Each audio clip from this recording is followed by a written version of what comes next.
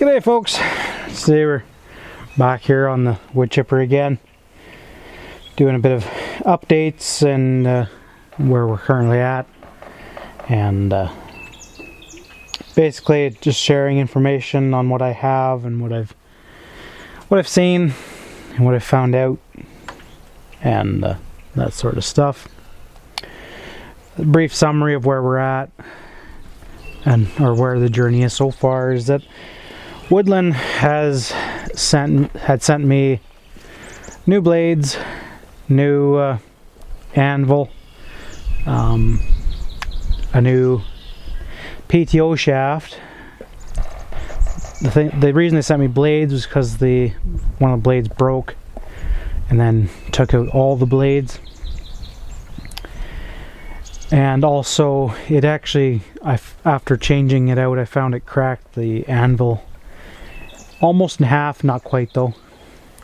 And then the last video I put on the new PTO shaft and it uh, did the exact same thing as it always did.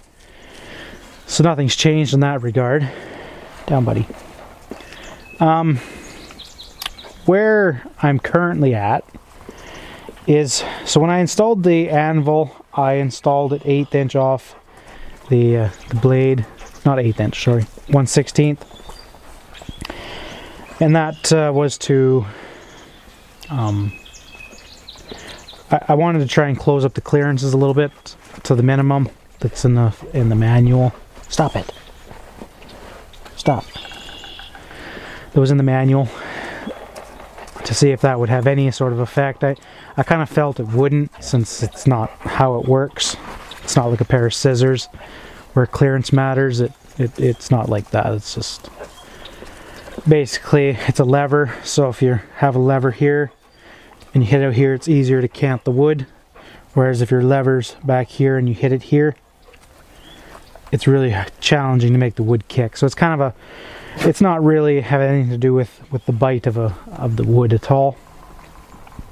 So how I set that is I use so what we what we had back in the day for measure for making threads well um, when cutting threads is we had they're they're called uh,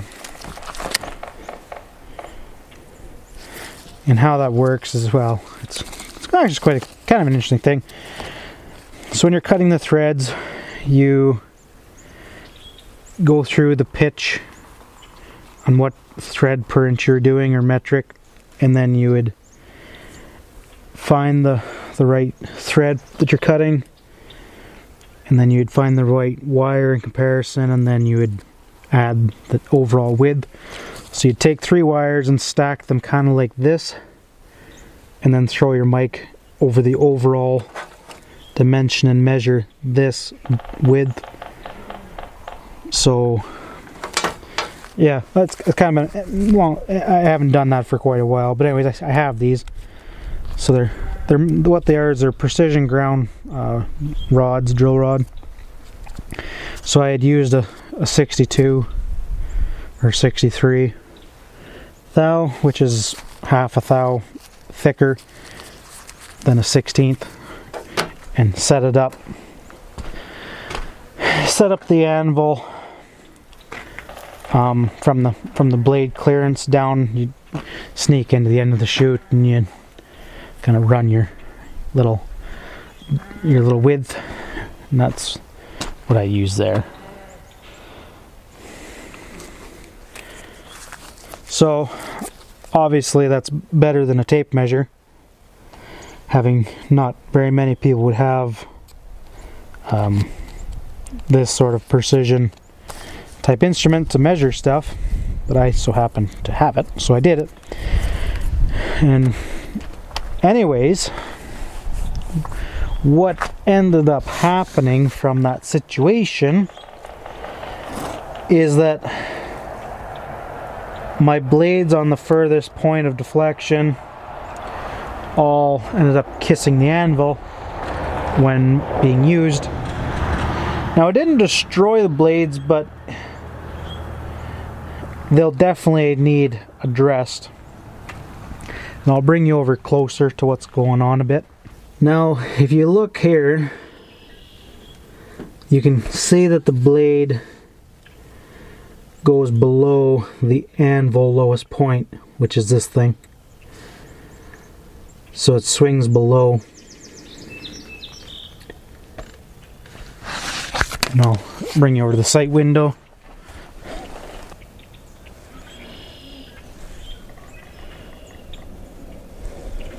You gotta, you can see how the blade goes lower. And over here, you can see, it's hard to get in here.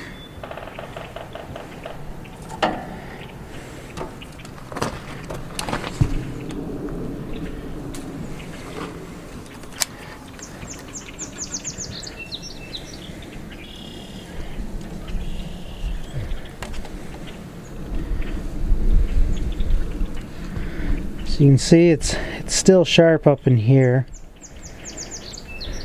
And then to where it passed by the anvil, it rounded off the edge. It's a little, maybe you can see it from this angle, smacked the little corners off. So it's sharpenable, but certainly not ideal. So then that kind of raised the question of if I'm within spec, how can how can that have happened? And it's only um, there's really only one way of it happening, and that's the flywheel moves closer to the to the anvil. Now, it doesn't seem to be. I've checked the the uh, forward and back with on the bearing. And it does seem okay that way. But we do have an, I'll do a test here.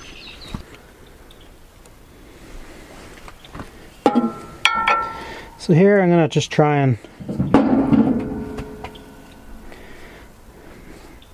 bring the take all the tolerance up in this way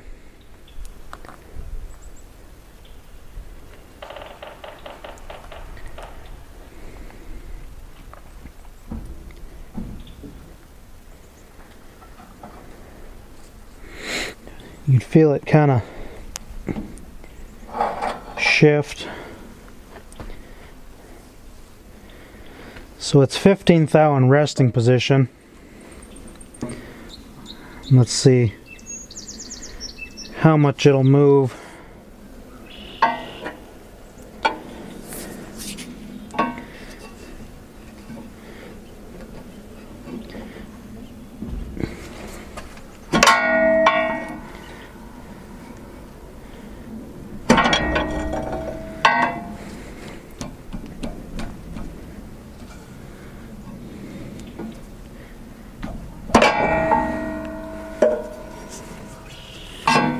Kind of hard to get a good solid purchase on this thing here.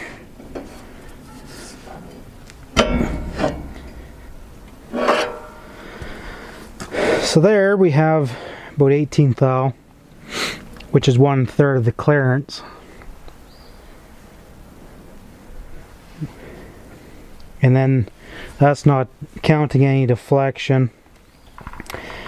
So these will be pulling hard in this direction here. So let's reset it into its back position.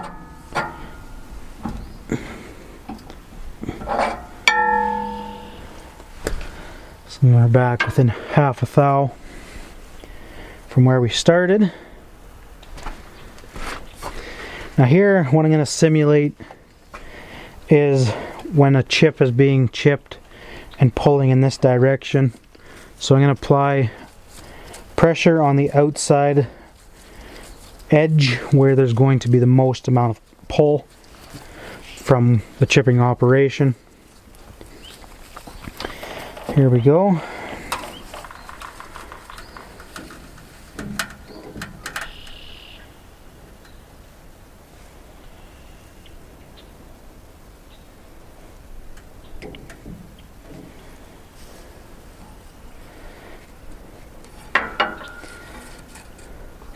So by doing that, I'm replicating the side load that this will actually be under.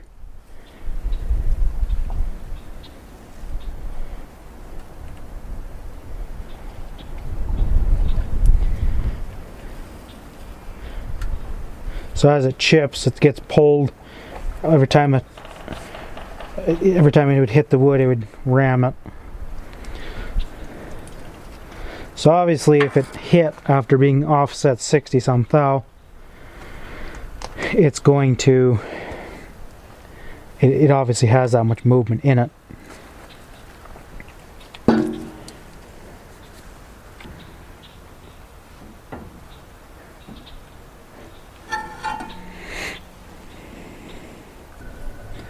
So when I, just kind of a quick summary of those measurements, I loaded it this way back here and this way and I had a movement of 18 thou. And then I also did a a test to see how how much uh, flex there is on the outmost portion. And we had upwards to 70 thou of, of movement if we wanted it. Depending on the force. Obviously everything's going to move a bit but so as for that information and what it means I don't really know what to tell you other than it's probably not wise to set your anvil at 16 thou off. Um, I don't know what else. What it it didn't really.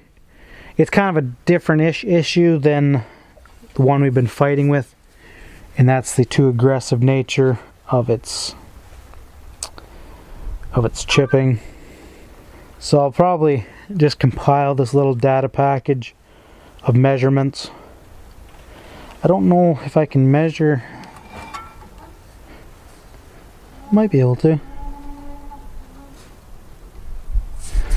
I'm going to see how much it the blade sticks out. 100 thou 200 thou 220